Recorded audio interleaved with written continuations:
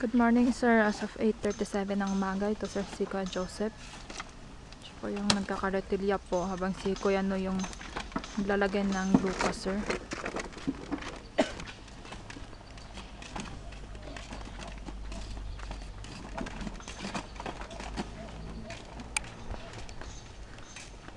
Dito sa may riprap rin sir yung tinatambakan po nila ng lupa.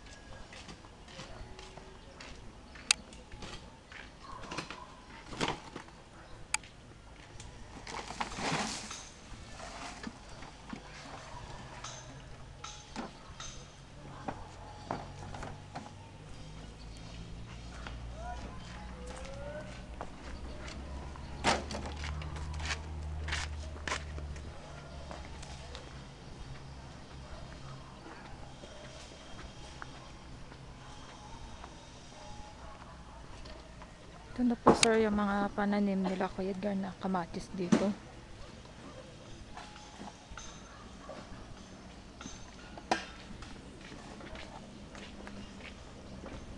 Ito naman sir yung mga bagyo pichay po.